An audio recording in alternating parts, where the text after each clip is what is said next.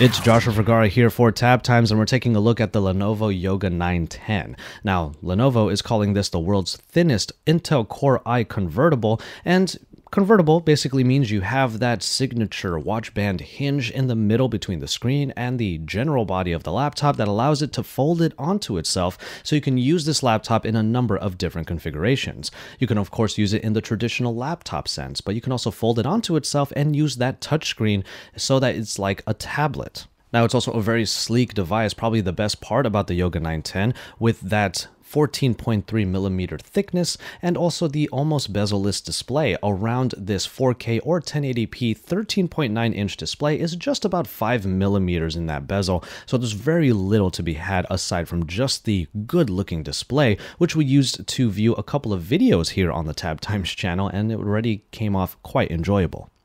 Sound should also be pretty good with enhanced audio in two speakers that are found on the under portion of the device. And as far as battery goes, uh, Lenovo says that you can get up to 15.5 hours of battery. So there's plenty that you can do for work or play, like watching movies on here, especially if you stand up the laptop screen and make it easy for yourself to see. For security, a fingerprint sensor is available just underneath the keyboard and right next to the touchpad that is quite large actually. And as far as that keyboard goes, it is a full-sized keyboard and it felt quite nice to be able to just type away on.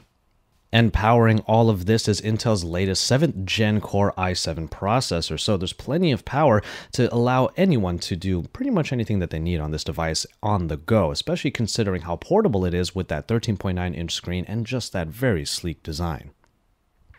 The Yoga 910 will be available on Lenovo.com in October and it will start at, at least for the European prices, 1499 euros. The Yoga line continues to be incredibly distinguishable, especially when you look at that watch band hinge and the fact that you can use it in so many different configurations. We really enjoyed using the Yoga 910 and we will bring more about it to you here at Tab Time, so make sure you stay tuned and remember to stick around and subscribe to this channel if you haven't already so you can see all of the other coverage that we have here at IFA 2016.